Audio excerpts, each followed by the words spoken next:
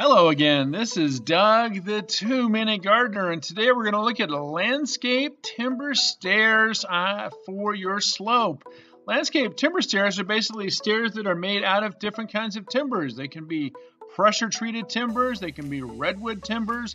There's lots of different types of wood you can use for these, and basically they're bolted together with rebar or big bolts. You nail the ends and then bolt each individual step unit together.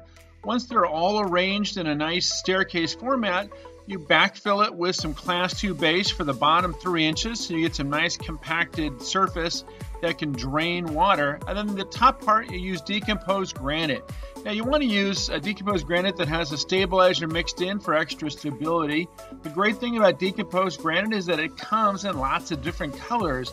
As you see in some of these videos, you can do reds and golds and pinks and grays and whites lots of done, you know, wonderful possibilities.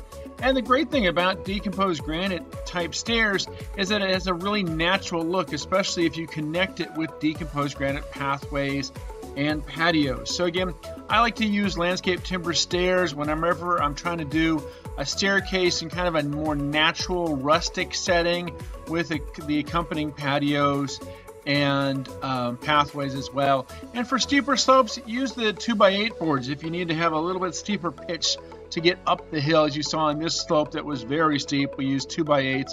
Still backfilled it with decomposed granite uh, on top of the class 2 base. And again, that's your great example of a decomposed granite patio with the stairs leading down to it. Well, that's it. That's two minutes. That's all the time we have for today. This is Doug, the Two Minute Gardener, saying thanks so much for watching and make sure to smash that like button and hit subscribe and we will see you next time.